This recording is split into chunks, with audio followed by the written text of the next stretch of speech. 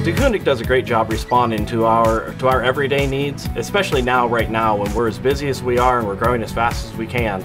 You know, they're, they're right there ready to respond from new product, you know, new items that we need, new accessory type items, all the way through just getting delivery to us.